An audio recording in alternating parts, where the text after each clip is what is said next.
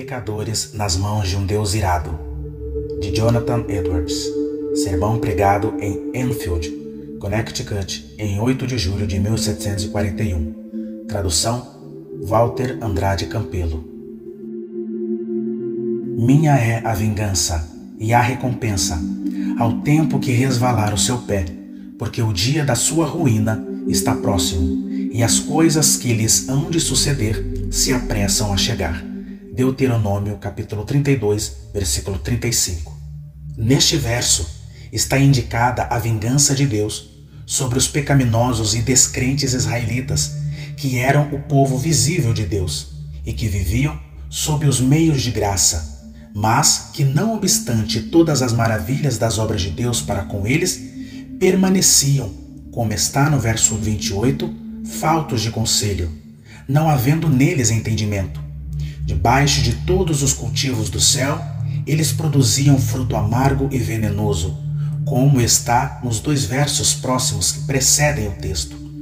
A expressão que escolhi como meu texto, ao tempo que resvalar o seu pé, parece encerrar os seguintes fatos relativos à punição e destruição a que estes israelitas pecadores estavam sujeitos.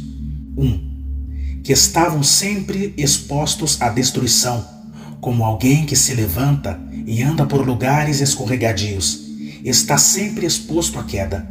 E isto está implícito na forma de destruição que vinha sobre eles, sendo representada por seus pés escorregando, resvalando.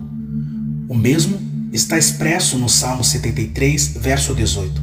Certamente, tu os puseste em lugares escorregadios tu os lanças em destruição. 2.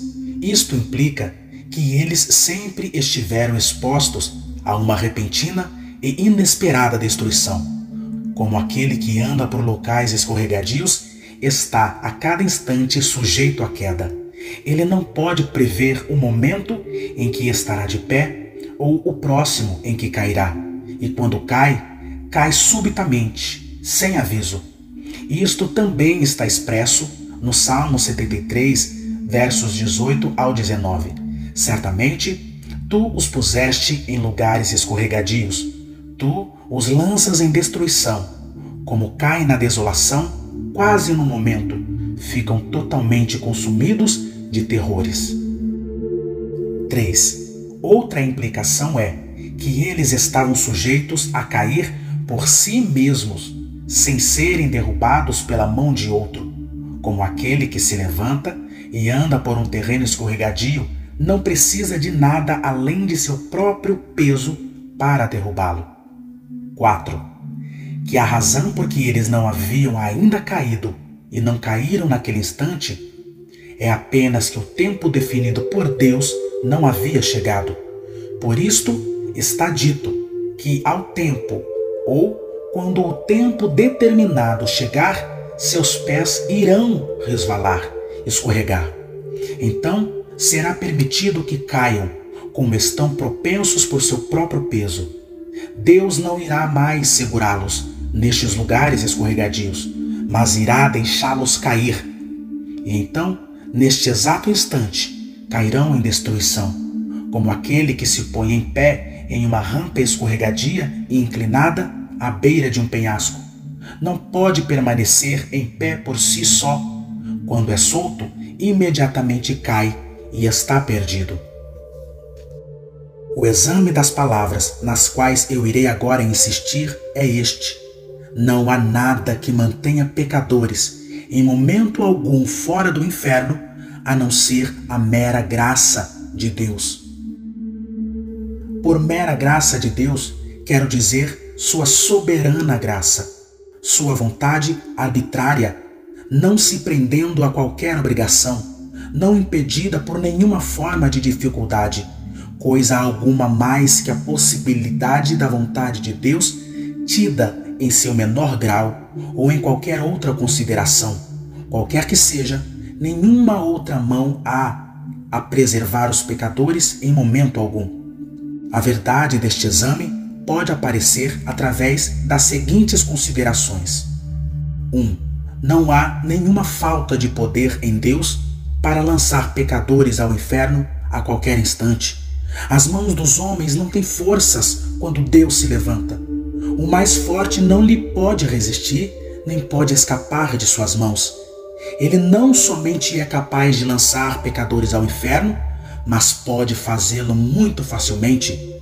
Algumas vezes, um príncipe terreno encontra grande dificuldade para subjugar um rebelde que tenha encontrado meios de se fortificar e que tenha se feito forte pelo número de seus seguidores. Mas não é assim com Deus. Não há fortaleza que sirva de defesa contra o poder de Deus. E ainda que mãos se unam a outras mãos, e vastas multidões de inimigos de Deus se combinem e se associem, eles serão facilmente feitos em pedaços. Eles são como um grande monte de finas moinhas diante de um tufão, ou grandes quantidades de restolho seco diante de chamas devoradoras. Nós achamos fácil pisar e esmagar um verme que vejamos a se arrastar pelo chão. Assim também nos é fácil cortar ou queimar uma fina linha na qual alguma coisa esteja pendurada, pois é fácil assim para Deus quando deseja lançar seus inimigos até ao inferno. O que nós somos para que pensemos em nos colocar contra Ele? Por cuja repreensão a terra treme e diante de quem as rochas são esmagadas? 2. Eles merecem ser lançados ao inferno, tanto que a divina justiça nunca se interpõe no caminho. Ela não faz nenhuma objeção quanto a Deus usar seu poder no momento de destruí-los. De fato, ao contrário, a justiça clama por uma infinita punição de seus pecados. A justiça divina diz daqueles que geram tais uvas de Sodoma: corta-o, porque ocupa ainda a terra inutilmente. Lucas capítulo 13, versículo 7. A espada da divina justiça está neste momento brandindo sobre suas cabeças, e não há nada além da mão da soberana misericórdia e da mera vontade de Deus detendo-a. 3. Eles já estão sob uma sentença de condenação ao inferno eles não somente merecem justamente serem lançados lá, mas a sentença da lei de Deus, que é a eterna e imutável regra de justiça que Deus fixou entre ele e a humanidade, foi contra eles e permanece contra eles, tanto que já estão suspensos sobre o inferno. João capítulo 3, versículo 18 diz: Quem não crê já está condenado. Assim é que cada homem não convertido pertence ao inferno, que é seu lugar. De lá ele é. João 8, 23. Vós sois de baixo, e para lá estar elevado. É o lugar onde a justiça e a palavra de Deus e a sentença da sua imutável lei serão aplicados sobre este homem. 4. Eles são agora objeto daquela mesma ira e vingança de Deus, que é expressa pelos tormentos do inferno.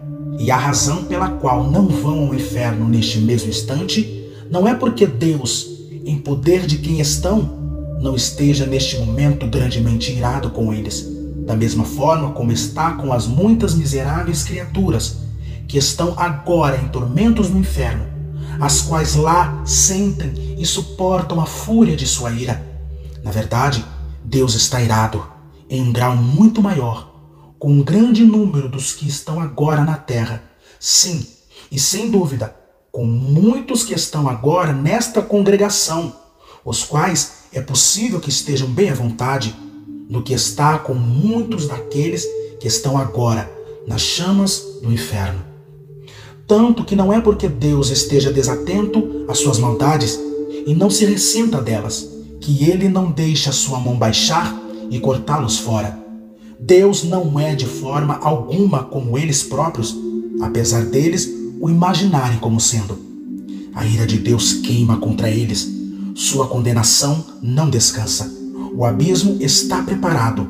O fogo está pronto. A fornalha já está quente, pronta para recebê-los.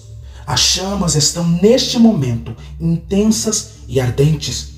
A resplandecente espada está afiada e levantada sobre eles e o abismo tem aberto sua boca abaixo deles. 5.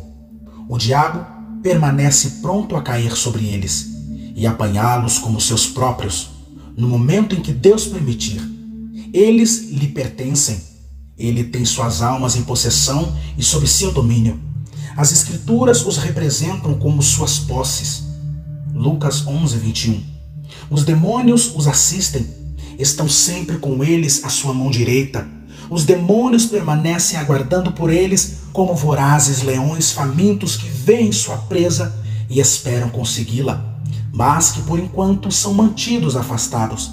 Se Deus retirasse sua mão, pelo qual os demônios estão sendo contidos, eles iriam imediatamente voar sobre suas pobres almas.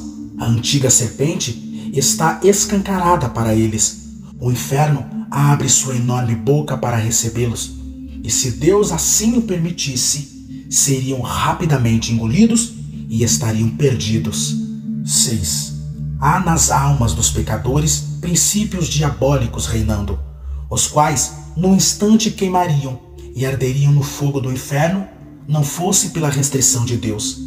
Existe guardada na própria natureza do homem carnal uma fundação para os tormentos do inferno. Existem neles princípios corrompidos, em reinante poder e em plena possessão deles, que são as sementes do fogo do inferno. Estes princípios estão ativos e são poderosos, e extremamente violentos em sua natureza, e se não fosse pela restringente mão de Deus sobre eles, rapidamente eles se romperiam e se incendiariam, da mesma forma que estas mesmas corrupções que o mesmo inimigo cria nos corações das almas em danação no inferno e produziriam os mesmos tormentos que nelas produzem. As almas dos pecadores são comparadas pelas Escrituras a um bravo mar. Isaías 57, versículo 20.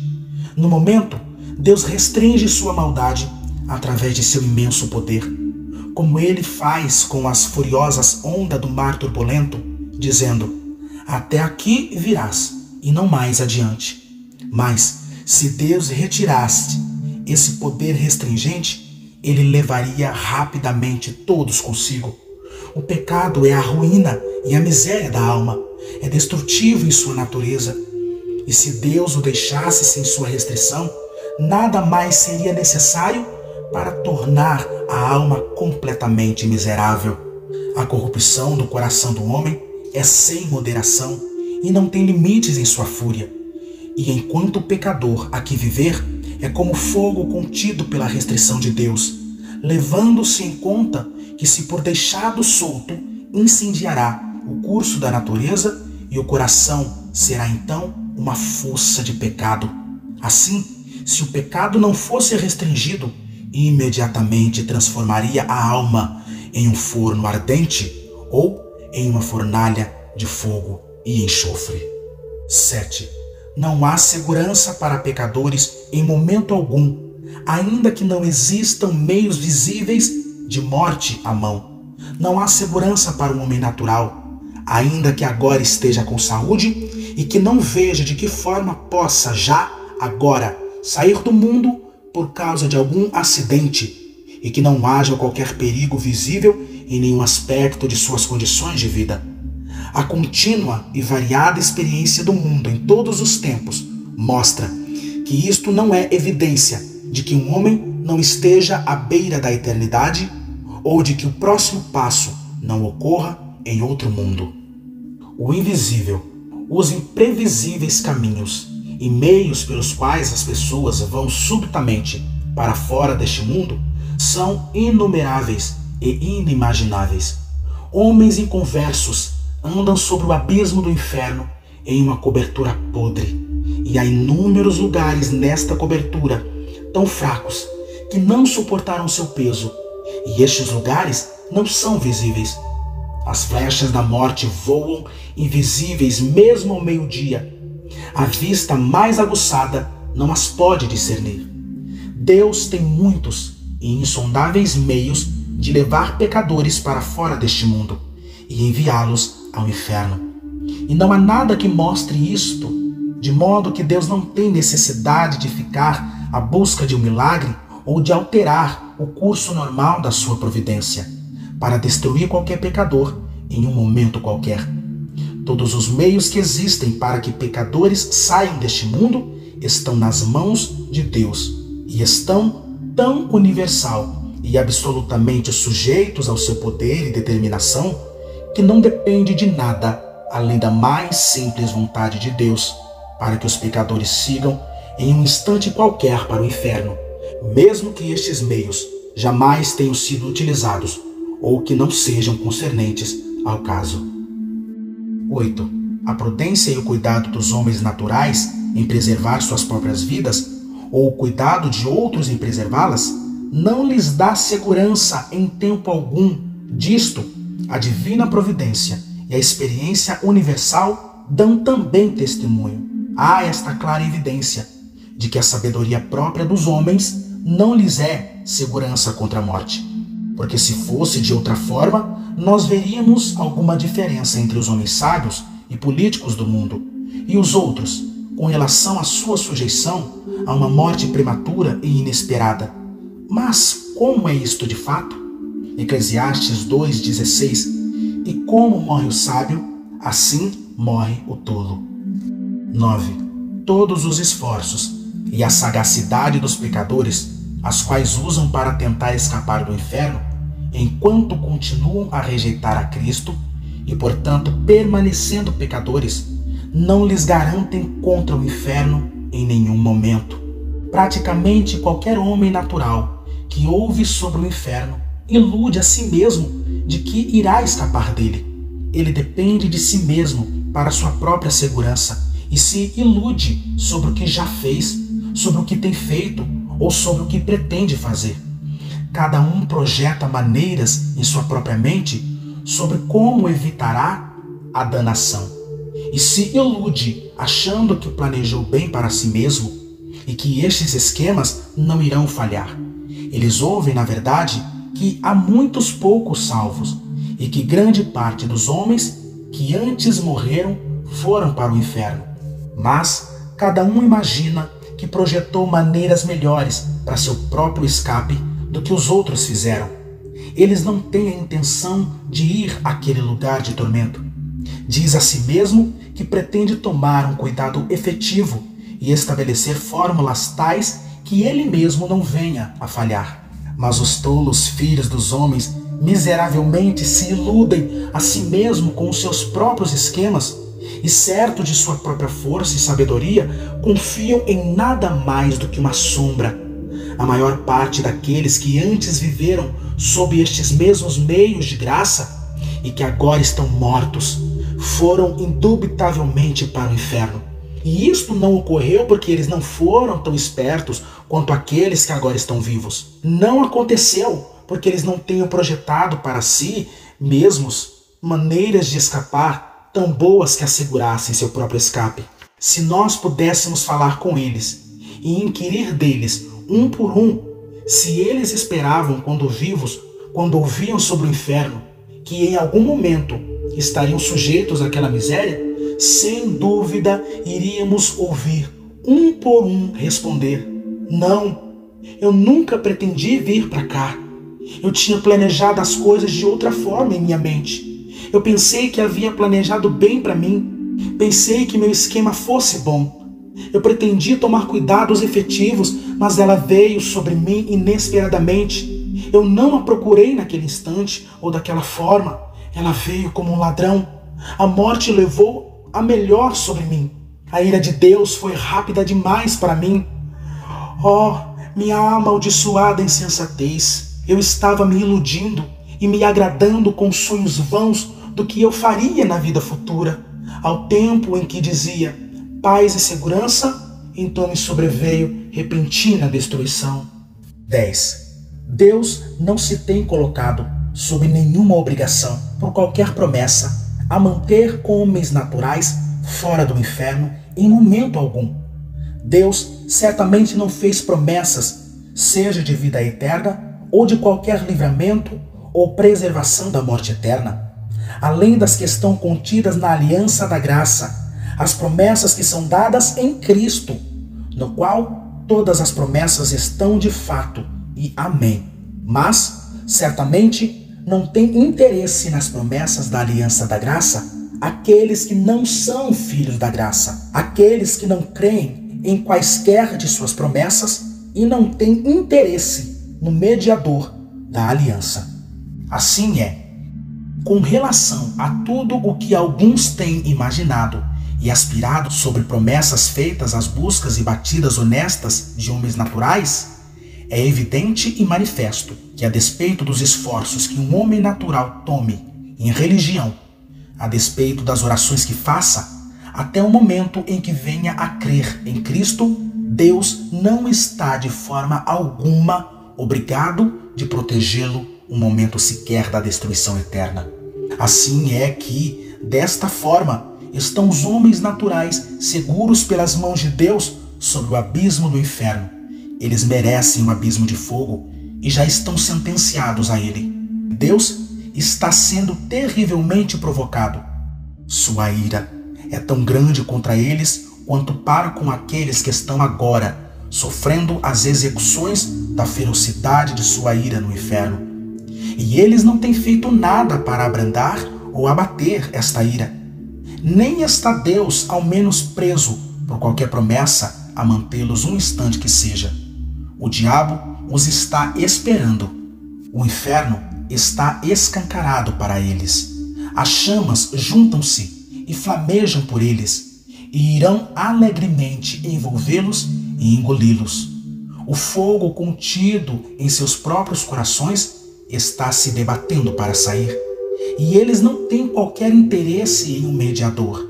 Não há meios através dos quais alcancem o que lhes pode ser de segurança.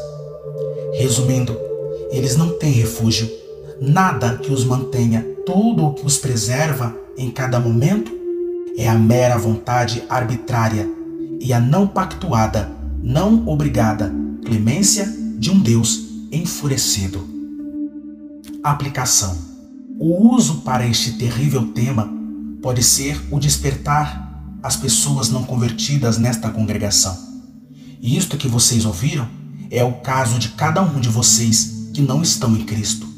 Aquele mundo de miséria, aquele lago de enxofre incandescente, está largamente estendido abaixo de vocês. Há o horrendo abismo de chamas ardentes da ira de Deus. Há a enorme boca do inferno escancaradamente aberta, e você não tem nada para se manter acima deles, nem nada que para se segurar. Não há nada entre você e o inferno além de ar. É somente o poder e a mera vontade de Deus que te mantém acima. Você provavelmente não tem ciência disso. Você se percebe sendo mantido fora do inferno, mas não vê a mão de Deus nisto e busca outras coisas, como o bom estado de sua constituição corporal. Você tem cuidado de sua própria vida e dos meios que você usa para sua própria preservação. Mas na verdade, estas coisas não são nada se Deus retirar sua mão, elas não servirão para evitar a sua queda.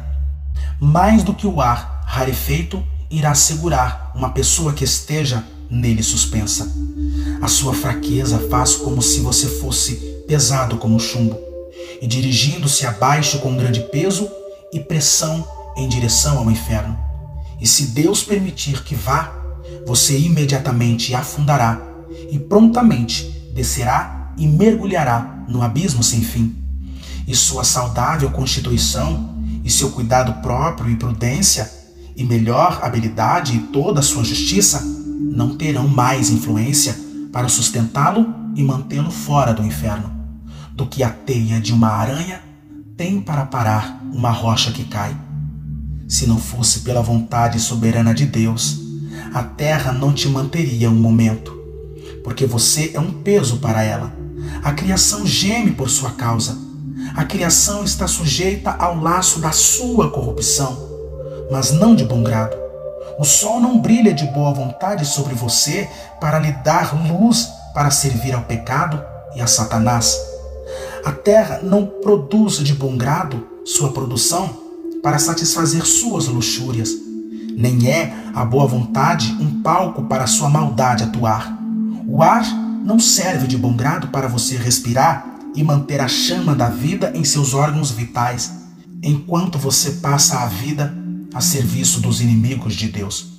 As criações de Deus são boas e foram feitas para que com elas os homens servissem a Deus, e não são subservientes de boa vontade a nenhum outro propósito, e gemem quando são maltratadas em propósitos tão diretamente contrários à sua natureza e finalidade. E o mundo iria lhe vomitar se não fosse pela soberana mão daquele que o sujeitou em esperança. As nuvens negras da ira de Deus estão agora pairando diretamente sobre suas cabeças, cheias de horrenda tempestade e inchadas com trovões. E se não fosse pela restringente mão de Deus, elas iriam imediatamente romper-se sobre você. A vontade soberana de Deus, por enquanto, segura seu vento tempestuoso.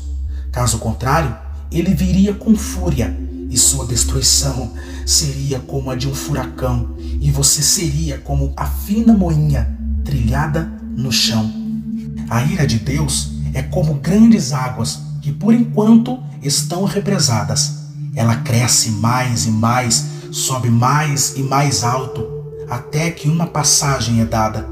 E quanto mais a corrente é interrompida, mais rápido e poderoso é o seu curso, quando por fim é liberada. É verdade que o julgamento de suas más obras não foi executado até agora. Os dilúvios da vingança de Deus têm sido retidos, mas sua culpa neste meio tempo está constantemente aumentando. E você está a cada dia entesourando mais ira. As águas estão constantemente subindo e tornando-se mais e mais poderosas, e não há nada além da mera vontade de Deus que segure as águas, as quais não têm boa vontade de serem paradas e pressionam duramente para seguir adiante. Se Deus somente retirar sua mão da comporta, ela imediatamente se abrirá, e as ardentes correntes da ferocidade e da ira de Deus irão ser impelidas à frente com inconcebível fúria, e virá sobre você com poder onipotente. E se sua força fosse dez mil vezes maior do que é, ou ainda dez mil vezes maior do que a força do mais robusto e vigoroso demônio do inferno, nada seria para lhes resistir ou suportar. O arco da ira de Deus está esticado, e a flecha está pronta sobre a corda, e a justiça aponta a flecha para seu coração e estica o arco. E não há nada além da mera vontade de Deus e de um Deus zangado, sem qualquer promessa ou obrigação que seja, que retenha a flecha por um instante sequer de se embeber em seu sangue. Assim, todos vocês nunca passaram por uma grande mudança de coração, pelo grandioso poder do Espírito de Deus sobre suas almas. Todos vocês que não nasceram de novo e foram feitos novas criaturas e ressuscitaram da morte em pecados para um estado de novo, mas antes estão inteiramente sem experiência de luz e vida. Vocês estão nas mãos de um Deus irado. Por mais que vocês possam ter reformado suas vidas em muitas coisas e possam ter tido sentimentos religiosos e possam manter uma forma de religião em suas famílias e aposentos e na casa de Deus, isto não é nada, mas é sua simples vontade que impede que vocês sejam nesse instante engolidos em eterna destruição. Mesmo que vocês agora possam não estar convencidos da verdade do que estão ouvindo, logo estarão plenamente convencidos disto.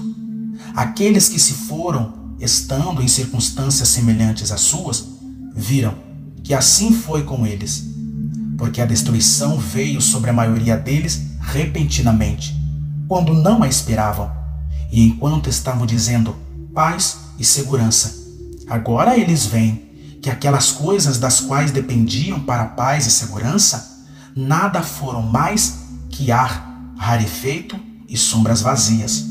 O Deus que te segura acima do abismo do inferno, muito como alguém que segura uma aranha ou algum inseto repugnante sobre o fogo, tem repulsa de ti e está sendo terrivelmente provocado. Sua ira contra você queima como fogo. Ele olha para você, merecedor de nada mais que ser lançado no fogo. Ele tem olhos puros demais para suportar ter você em sua visão. Você é dez mil vezes mais abominável aos olhos dele que a mais detestável serpente venenosa é aos seus. Você o tem ofendido infinitamente mais que um obstinado rebelde a seu príncipe. E ainda assim, é nada além que sua mão que o evita que você a cada momento caia no fogo.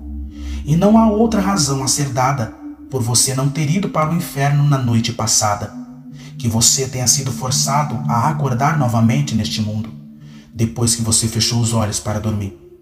Não há outra razão a ser dada por você não ter sido lançado no inferno desde a hora em que se levantou de manhã, além da mão de Deus ter te segurado. Não há outra razão a ser dada para você não ter ido para o inferno desde que você se sentou aqui na casa de Deus, provocando seus puros olhos com a sua perniciosa e pecaminosa maneira de comparecer ao seu culto solene. Sim, não há nada que seja dado como uma razão para que você não caia neste exato momento no inferno. Ó oh, pecador, considere o temível perigo em que você se encontra. É uma grande fornalha de ira, um enorme abismo sem fundo, cheio do fogo da ira, sobre o que você está mantido pela mão daquele Deus, cuja ira é provocada e inflamada desta tal forma contra você, como contra tantos dos amaldiçoados no inferno. Você está pendurado por uma fina linha, com as chamas da ira divina rompendo por ela e prontas a cada instante a chamuscá-la e queimá-la, fazendo-a em pedaços. E você não tem qualquer interesse no mediador? E em nada em que se segurar para se salvar, nada para afastar as chamas da ira nada de você mesmo, nada do que você tenha feito, nada do que você possa fazer para induzir Deus a poupá-lo por um instante a mais. E considere aqui, mais particularmente, um, de quem a ira é? É a ira do Deus infinito. Se ela fosse somente a ira do homem, ainda que fosse do mais poderoso príncipe, ela seria comparativamente muito pequena para ser levada em consideração. A ira dos reis é muito temível, especialmente dos monarcas absolutistas que têm as suas possessões e as vidas de seus súditos inteiramente em seu poder, à disposição de sua mera vontade. Provérbios capítulo 20, versículo 2: Como o rugido do leão é o terror do rei, o que provoca a ira peca contra sua própria alma. O súdito que muito enfurece um arbitrário príncipe está sujeita a sofrer os mais extremos tormentos que a arte humana é capaz de inventar ou que o poder humano é capaz de infligir. Mas os grandes potentados, terrenos em suas grandiosas majestades e forças, e quando equipados de seus maiores terrores, não são mais que fracos e desprezíveis vermes na areia, em comparação com o grande e todo-poderoso Criador e Rei do céu e da terra. É muito pouco o que podem fazer, quando muito enfurecidos e quando têm mostrado o máximo de sua fúria. Todos os reis da terra, diante de Deus, são como gafanhotos, não são nada e menos que nada. Seu amor e seu ódio são para ser desprezados. A ira do grande Rei dos Reis é muito mais terrível que a deles do mesmo modo que a sua majestade é maior. Lucas capítulo 12, versículos 4 e 5 diz: E digo-vos, amigos meus, não temais os que matam o corpo e depois não tem mais o que fazer. Mas eu vos mostrarei a quem deveis temer. Temei aquele que depois de matar tem poder para lançar no inferno. Sim, eu vos digo, a esse temei. 2 é a ferocidade de sua ira que você está exposto. Nós frequentemente lemos a fúria de Deus, como em Isaías 59, 18: Conforme forem as obras deles, assim será a sua retribuição. Furor aos seus adversários. Assim também em Isaías 66, 15. Porque eis que o Senhor virá como fogo, e os seus carros como um torvelinho, para tornar a sua ira em furor e a sua repreensão em chamas de fogo. E em muitos outros lugares. Assim, em Apocalipse 19, 15, nós lemos sobre o lagar do vinho do furor e da ira do Deus Todo-Poderoso. As palavras são extremamente terríveis. Se estivesse somente sendo dito a ira de Deus, as palavras implicariam o que é infinitamente terrível. Mas está dito o furor e a ira do Deus Todo-Poderoso, a fúria de Deus, a ferocidade de Jeová. Oh, quão terrível ela será! Quem pode exprimir ou conceber o que estas expressões carregam em si? Mas é também o furor e a ira do Deus Todo-Poderoso. Como tal, haverá uma grande manifestação de seu onipotente poder, através do qual o furor da sua ira será infligido. Desta forma, a onipotência será como se estivesse enfurecida e manifesta de um modo que os homens não costumam manifestar sua força e o furor de sua ira. Oh, então qual não será a consequência? O que acontecerá aos pobres vermes que a sofrerão? As mãos de quem poderão ser fortes? E o coração de quem poderá subsistir? Em que terrível, inexprimível, inconcebível profundidade de miséria será a pobre criatura mergulhada? Aqueles que estarão sujeitos a isto. Considere isto, você que está aqui presente e que ainda permanece em um estado de não regeneração. Que Deus executar a sua ferocidade de sua raiva implica que ele infligirá ira sem qualquer piedade. Quando Deus olha para um indescritível extremo de seu caso, ele vê seu tormento ser tão grandemente desproporcional à sua força e vê como sua pobre alma está oprimida e afunda como se estivesse em uma infinita escuridão. Não terá compaixão de você. Ele não irá reprimir as execuções de sua ira, ou mesmo tornará sua mão mais leve. Não haverá moderação ou misericórdia, nem reterá Deus de forma alguma seu vento impetuoso.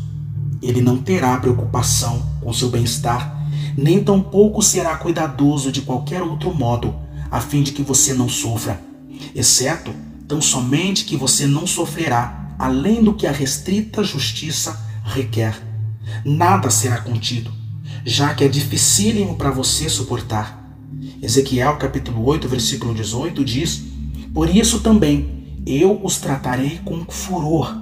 O meu olho não poupará, nem terei piedade ainda que me gritem aos ouvidos com grande voz, contudo não os ouvirei. Agora, Deus está pronto a perdoá-lo. Este é um dia de misericórdia. Você pode clamar agora com algum alento de obter misericórdia. Mas, uma vez que o dia da misericórdia tenha passado, seu mais lastimoso e doloroso choro e grito será em vão.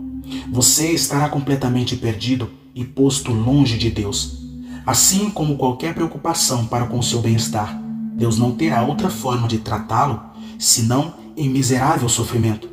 Você continuará a existir sem nenhuma outra finalidade, porque você será um vaso de ira cheio de destruição.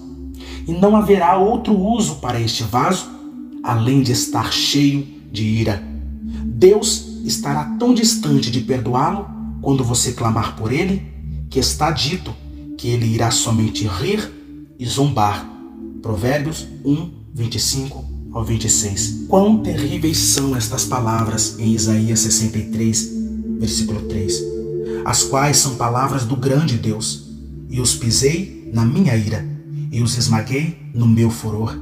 E o seu sangue salpicou as minhas vestes, e manchei toda a minha vestidura Talvez seja impossível conceber palavras que carreguem em si maiores manifestações destas três coisas, quais sejam o desprezo e o ódio e o furor da indignação. se você clamar ao Senhor que o perdoe, ele estará tão distante de perdoá-lo em seu caso sombrio ou de mostrar-lhe ao menos consideração ou favor, que ao invés disto, irá somente esmagá-lo sob o pé. E ainda que ele saiba que você não pode suportar o peso da onipotência lhe pisando, ainda assim, ele não terá qualquer consideração, mas irá esmagá-lo sob seu pé sem misericórdia. Ele irá espremer o seu sangue e irá fazê-lo saltar e salpicará suas vestes e manchará toda a sua vestidura. Ele irá não somente odiá-lo, mas terá você no mais profundo desprezo. Nenhum outro lugar será cogitado para você estar a não ser debaixo de seu pé, para ser pisado como a lama das ruas. 3. A miséria a que você está exposto é aquela que Deus irá infligir até este fim, uma vez que ele deve mostrar o que é a ira de Jeová. Deus tem tido isto em seu coração para mostrar aos anjos e aos homens tanto quão excelente é seu amor, quanto quão terrível é sua ira. Algumas vezes, reis terrenos têm uma ideia para mostrar quão terrível é sua ira. Através de punições extremas, eles executarão aqueles que os provocarem. Nabucodonosor, aquele poderoso e orgulhoso monarca do Império Caldeu, estava disposto a mostrar sua ira quando se enfureceu contra Sadraque, Mesaque e Abednego, e desta forma deu ordens para que a queima do fogo da fornalha fosse aquecida sete vezes mais que antes. Sem dúvida, ela foi aumentada ao maior grau de violência a que a arte humana poderia aumentá-la. Não obstante, o grande Deus está também desejoso de mostrar sua ira e de magnificar sua tremenda majestade e grandioso poder em sofrimentos extremos aos seus inimigos. Romanos capítulo 9, versículo 22. E que direis se Deus, querendo mostrar a sua ira e dar a conhecer o seu poder, suportou com muita paciência os vasos da ira preparados para a perdição?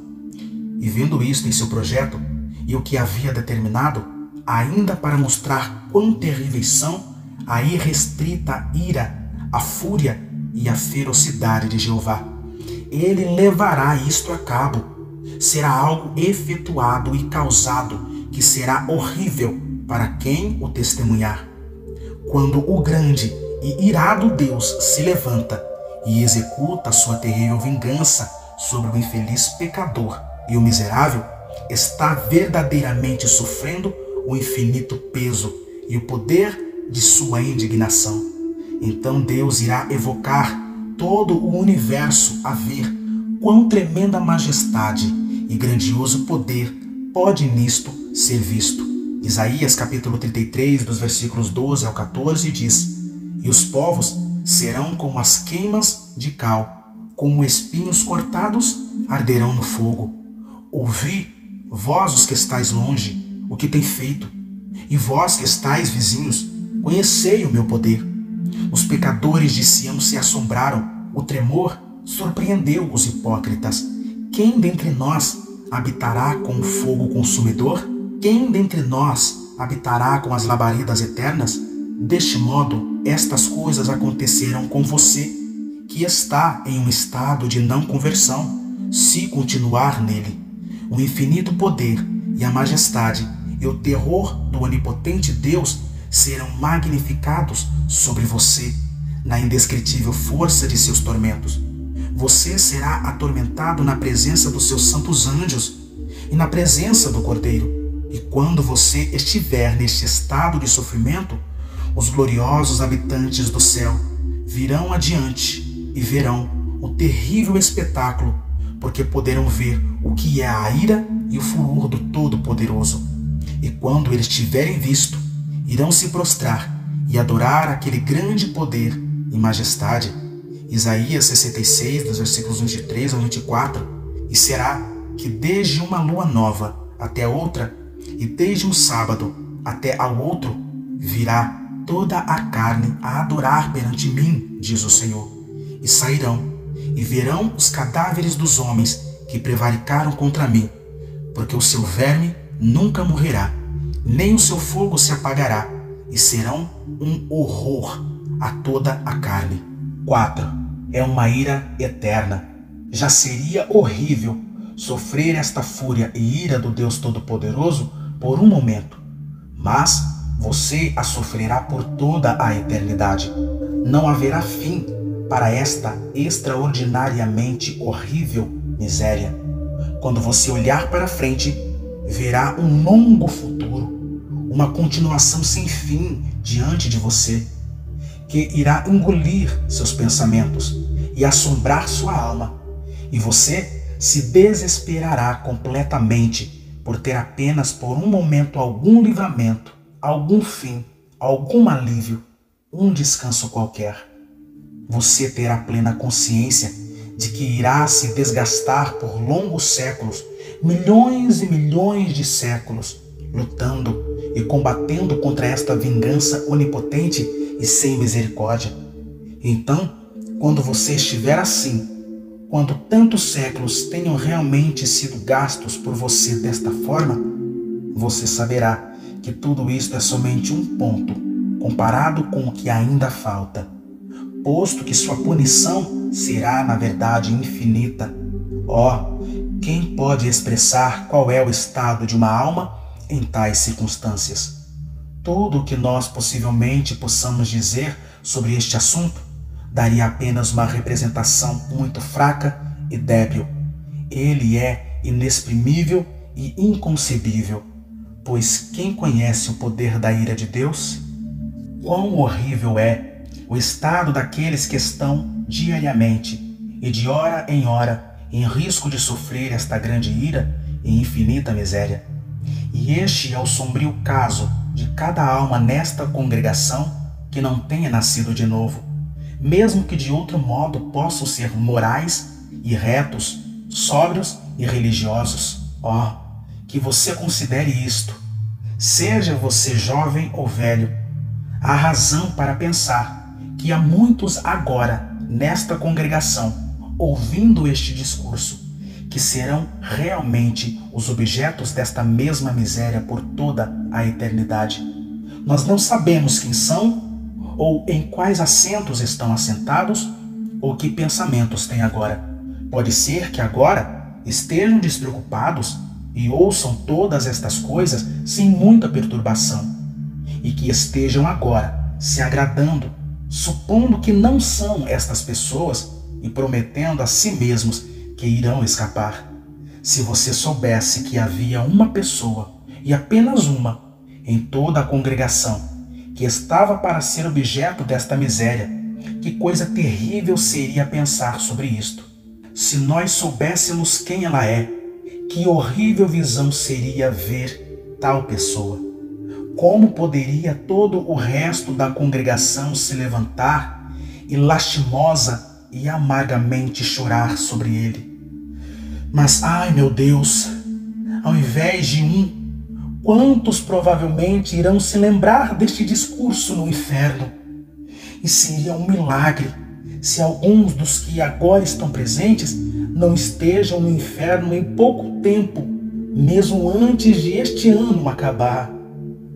E não seria milagre algum se algumas pessoas das que estão agora sentadas aqui, em alguns dos assentos deste local de reunião, com saúde, quietos e seguros, estejam lá antes de amanhã de manhã. Aqueles de vocês que finalmente continuarem em uma condição natural que os mantenha fora do inferno por mais um pouco, logo estarão lá. Sua danação não descansa. Ela virá rapidamente e com toda probabilidade, muito repentinamente sobre muitos de vocês.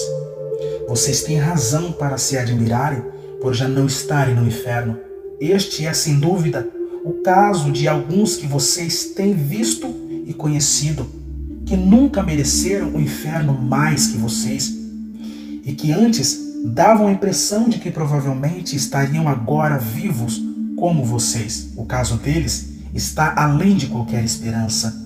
Eles estão clamando em extrema miséria e perfeito desespero. Mas aqui, vocês estão na terra dos viventes e na casa de Deus, e têm uma oportunidade de obter salvação. O que não dariam aquelas pobres almas condenadas e sem esperança por um dia de oportunidade, como o que vocês estão agora desfrutando.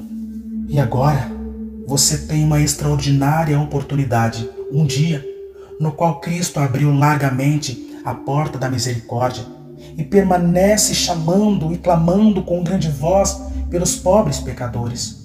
Um dia no qual muitos estão reunindo-se a Ele e apressando-se ao reino de Deus. Muitos estão diariamente vindo do leste, oeste, norte, sul. Muitos que estavam até muito recentemente na mesma condição miserável em que você está e que agora estão em um estado de alegria, com seus corações cheios com amor por aqueles que os amou e os lavou de seus pecados em seu próprio sangue, e jubilosos de esperanças pela glória de Deus. Quão terrível é ser deixado para trás em tal dia, ver tantos outros festejando, enquanto você está definhando e perecendo. Ver tantos jubilosos e cantando pela alegria no coração, enquanto você tem motivos para prantear pela culpa do coração e urra pela vexação do espírito. Como você pode descansar um momento sequer em tal condição? Não são suas almas tão preciosas quanto as almas das pessoas de Suffield, onde estão dia a dia se unindo a Cristo? Não há muitos aqui que tenham vivido muito tempo no mundo e que tenham até hoje nascido de novo e, portanto, são estrangeiros na comunidade de Israel e não têm nada durante a vida além de entesourar ira para o dia da ira? Ó senhores, seu caso, de uma forma especial, é extremamente perigoso. Sua culpa e dureza de coração são enormes. Vocês não veem como comumente pessoas da sua idade passam e se vão na presente notável e maravilhosa dispensação da misericórdia de Deus? vocês têm necessidade de considerarem a si mesmos e acordarem inteiramente deste sono. Vocês não podem suportar a fúria e a ira do Deus infinito. E vocês, homens jovens e jovens mulheres, irão negligenciar este precioso momento que vocês estão desfrutando agora, quando tantos outros de sua idade estão renunciando às futilidades da mocidade e se unindo a Cristo, vocês, especialmente, têm agora uma extraordinária oportunidade. Mas, se vocês a negligenciarem, logo acontecerá com vocês, como com aquelas pessoas que gastam todos os seus preciosos dias da juventude em pecado e estão agora chegando a esta horrível condição em cegueira e dureza. E vocês, jovenzinhos, que não são convertidos, não sabem que vocês estão indo para o inferno para suportar a terrível ira daquele Deus que está agora zangado com vocês cada dia e cada noite? Vocês estarão contentes por serem jovenzinhos do diabo, quando tantos outros jovenzinhos na terra são convertidos e se tornaram santos e alegres filhos do Rei dos Reis? E permita que cada um que ainda está sem Cristo e pendurado sobre o abismo do inferno, sejam eles homens ou mulheres de avançada idade, ou de meia idade, ou jovens, ou ainda crianças, ouça agora com muita atenção aos altos clamores da palavra e da providência de Deus. Este ano aceitável do Senhor, um dia de tão grande bênçãos a alguns, será sem dúvida um dia de notável vingança para outros. A dureza do coração dos homens e suas culpas aumentam a passo largo em um dia como este, se negligenciam suas almas. Nunca houve tão grande perigo para estas pessoas que cedem à dureza do coração e à cegueira da mente. Deus agora parece estar apressadamente recolhendo seus eleitos em todas as partes da terra e provavelmente a maior parte dos adultos que nunca serão salvos será agora levada em pouco tempo, e que isto será como foi a grande expansão do Espírito sobre os judeus nos dias dos apóstolos. Os eleitos irão obter, e o restante terá os olhos tapados. Se este for o seu caso, você amaldiçoará eternamente este dia, e amaldiçoará o dia em que nasceu, por ver tal período de expansão do Espírito de Deus, e desejaria que houvesse morrido e ido para o inferno antes de ter visto isto. Agora, indubitavelmente, está o machado, como esteve nos dias de João o Batista, colocado de forma extraordinária nas raízes das árvores, e cada árvore que não produzir bons frutos poderá ser derrubada e lançada ao fogo. Contudo, permita que cada um que está sem Cristo acorde agora e afaste-se da ira que virá. A ira do Deus Todo-Poderoso está, neste momento, sem dúvida, pendendo sobre grande parte desta congregação. Permita que cada um se afaste de Sodoma. Apressem-se e escapem por suas vidas. Não olhem para trás. Escapem lá para o monte, para que não sejam consumidos.